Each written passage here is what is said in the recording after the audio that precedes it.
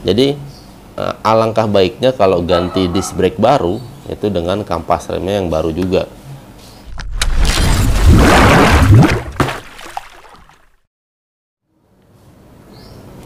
Halo semua, jumpa lagi bersama Ridwan Maulana di sini.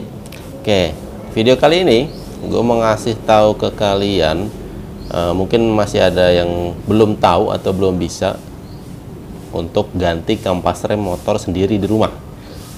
Jadi nggak perlu ke bengkel. Nah, di video kali ini gue ngasih contohnya di motor Nmax gue.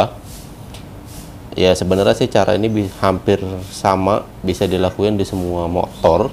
Caranya mirip-mirip paling hanya beda di sekitar pinnya aja cuma berhubung gue lagi perlunya di motor NMAX jadi ya di motor NMAX aja gue ngasih contohnya jadi gue mau ganti kampas rem depan dan kampas rem belakang sebelumnya gue pernah bikin video uh, ganti kampas rem belakang aja. Uh, videonya bisa lihat di atas ini. Nah kenapa gue sekarang mau ganti kampas rem? Karena di video sebelumnya gua kan udah ganti piringan atau ganti disc brake. Nah, bisa dilihat kan? Uh, disc brake depan udah ganti dan belakangnya juga udah ganti. Nah, cuma kemarin begitu gua ganti disc brake itu kampas remnya belum datang jadi ya gue pasang dulu aja disnya tapi sayangnya motornya terlanjur dipakai sama istri gua jadi udah dipakai ya deket sih paling ke tukang sayur doang Nah nanti gue kasih lihat eh, bekas kapas lamanya.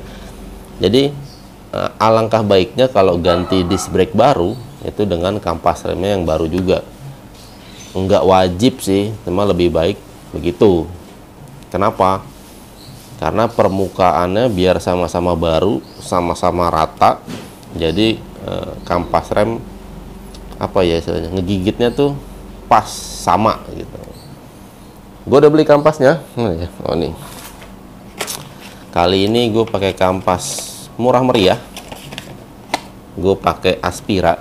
Kenapa nggak pakai yang ori aja bang? Yang ori di sini susah nyarinya di sini tuh jarang ada yang ori kampasnya. Paling adanya tuh bungkusnya Yamaha tapi isinya ya walau alam. Atau dengan merek-merek lainnya yang harganya murah. Kalau kalian mau beli online nanti gue kasih linknya ada di deskripsi. Bisa dilihat di deskripsi linknya nanti gue kasih. Ini gue beli kampas rem depan dan belakang. Nah di video kali ini sekalian gue mau ngasih tahu persamaan kampas rem si NMAX ini dengan motor apa aja sih ya, jadi kalau misalkan sewaktu-waktu kalian lagi di mana terus mau ganti kampas rem buat NMAX new nggak ada nih ternyata bisa ada persamaannya dengan motor lain. Nah, di sini gue mau kasih tahu untuk kampas rem depan ini si NMAX New ini bisa pakai punya Mio M3 atau MX King Yamaha MX King. Nah, di sini ada tulisannya.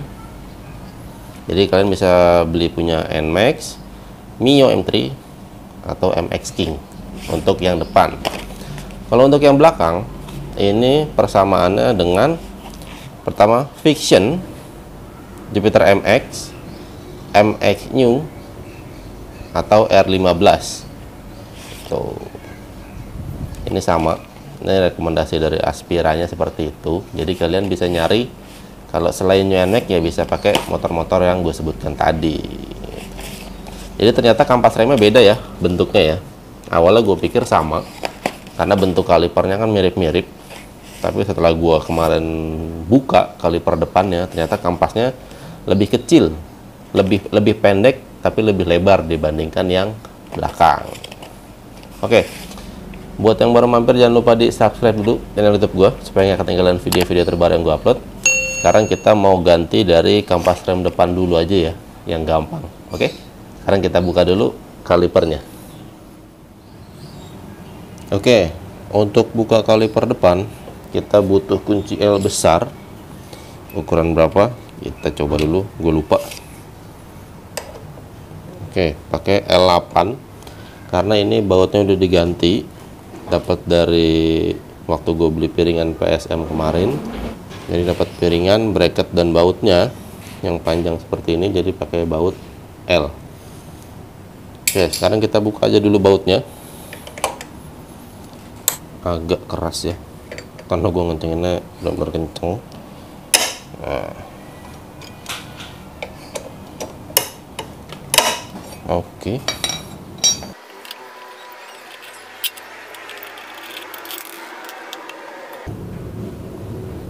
ini kemarin udah sempat kepake jalan dikit.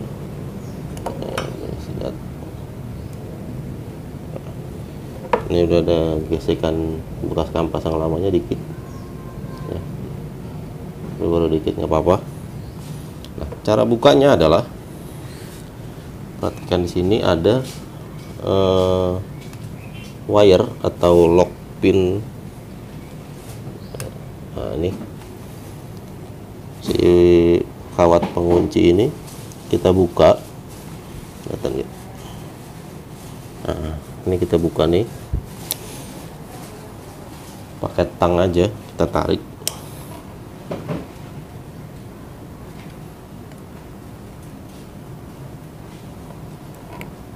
Nah ini.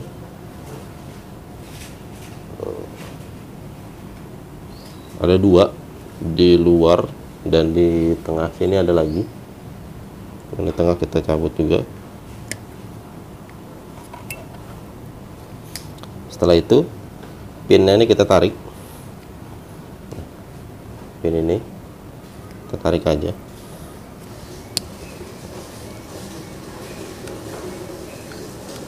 Set. Nah. Setelah ditarik kampasnya langsung lepas nah.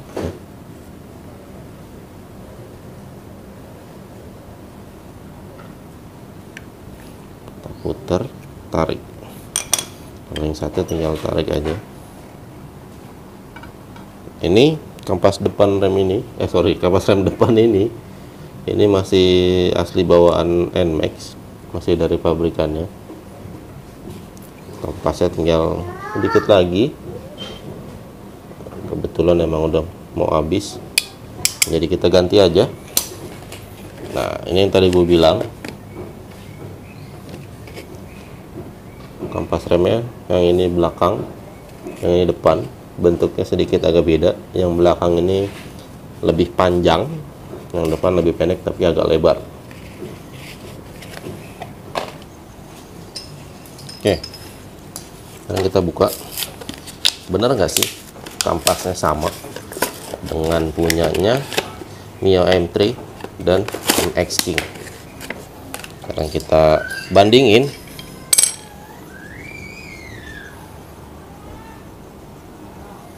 nah ini untuk bagian yang kecil. Nah ini. Sama ya. Ini yang panjangnya.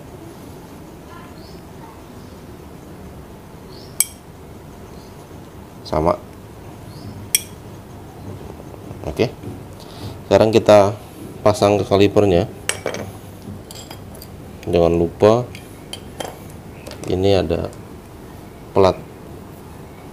Kita pindahin dulu platnya.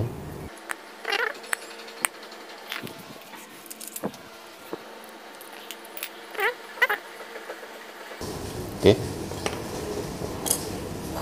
Jangan lupa di pistonnya ini. Karena sebelumnya kampasnya udah mau habis jadi pistonnya dia agak maju. Jadi kita dorong balik dulu nih pistonnya bisa pakai kunci apa aja yang agak gede yang do, buat bisa buat dorong. Aku pakai kunci L ini aja cukup.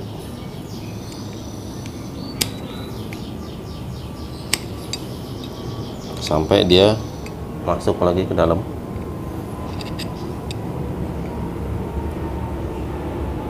Tadi kan nongol ya.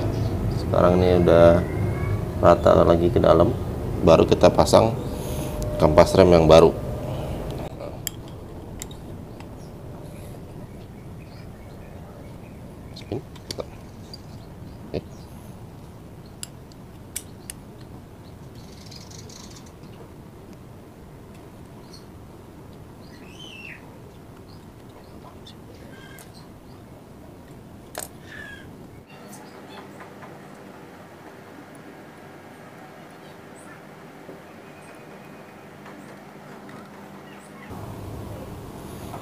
nih kawat penguncinya jangan lupa dipasang ya. Biar pinnya nggak lepas. Itu tinggal kita pasang lagi ke bracketnya.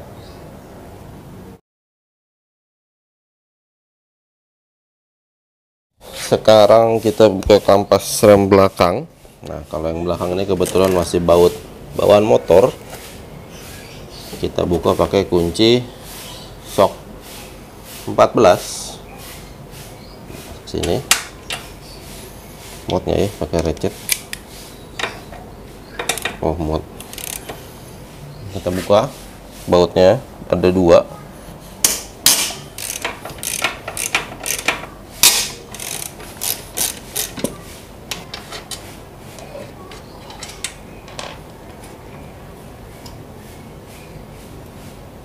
nah udah kebuka?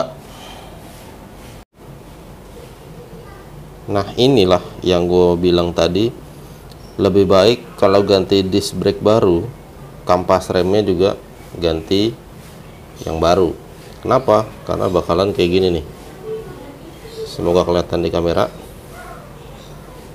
Jadi kalau disknya baru tapi kampasnya lama dia ngegigitnya bakalan begini. Nggak rata nggak kemakan semua nih. Nah ini kan ada garis-garis ya. Yang garisnya gelap ini adalah garis yang kegesek sama kampas rem.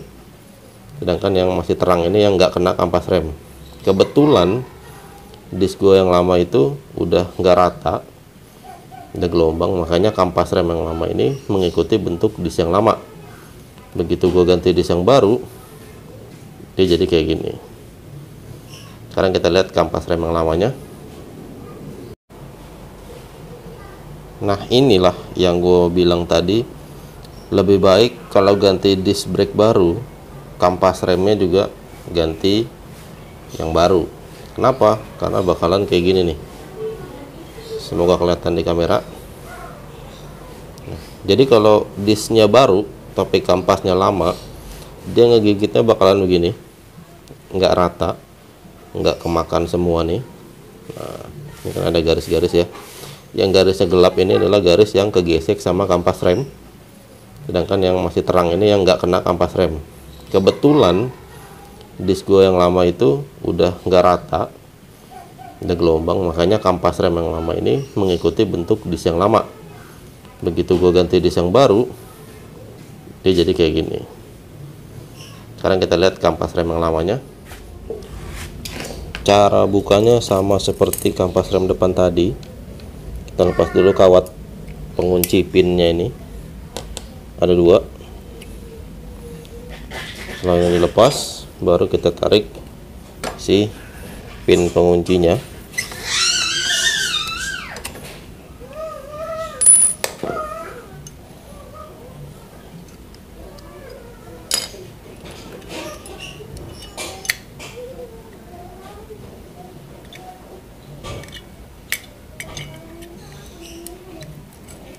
nah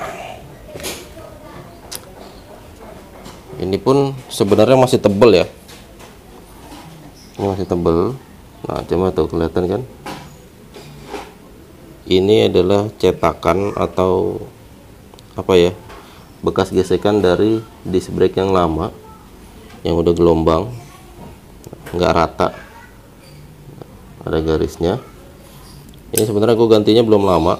Sekarang kita ganti pakai yang baru. Apa ya bentuk sama.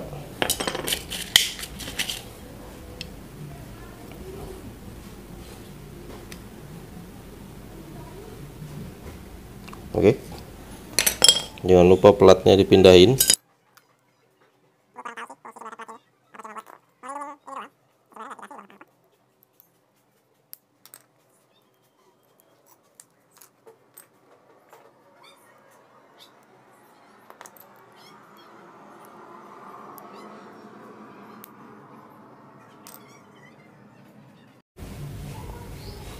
jangan lupa pistonnya didorong dulu. Ini nongolnya cuma dikit kebetulan. Oh, pakai tang aja. Set.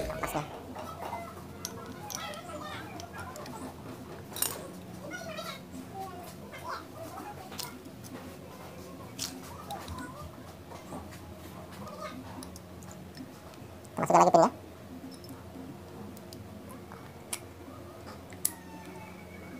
Kawatnya juga jangan lupa.